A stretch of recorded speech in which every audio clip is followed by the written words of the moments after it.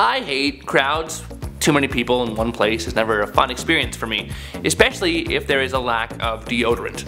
But aside from my own personal discomfort, the world is becoming extremely, extremely crowded, and it's not looking good for us. But it is solvable. Hey fellow geeks, Mark Kreder here with another episode of the Science Faction Show. Be sure to ask your science questions in the comments down below. Today, we are looking at how we can solve the population problem of the Earth.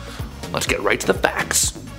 Right now, there are around 7.5 billion people on Earth. The United Nations estimates that if we continue creating more people the way we do, we are bound to wind up with a world population of 11 billion by 2100.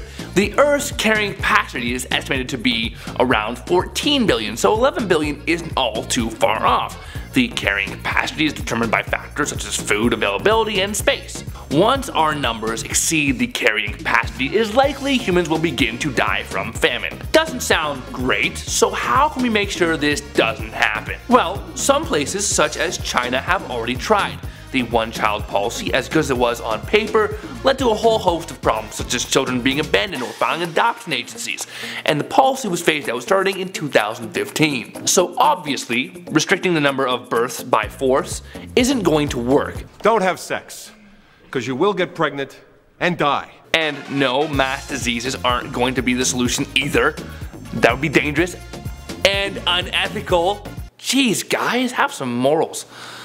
One way to reduce overpopulation is to start with education and family planning. A lot of people don't even know this is happening. When people are more aware of how pregnancies happen, they can prevent unwanted and accidental pregnancies, therefore reducing the number of people coming into the world. Free condoms for everyone! That ain't no etch-a-sketch.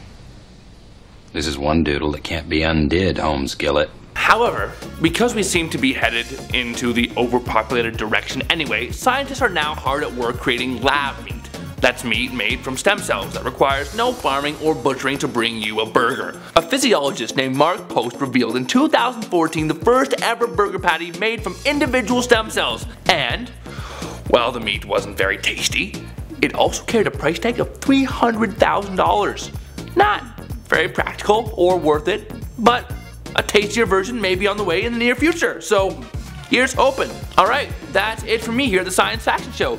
Be sure to let me know what you want me to talk about next in the comment section down below.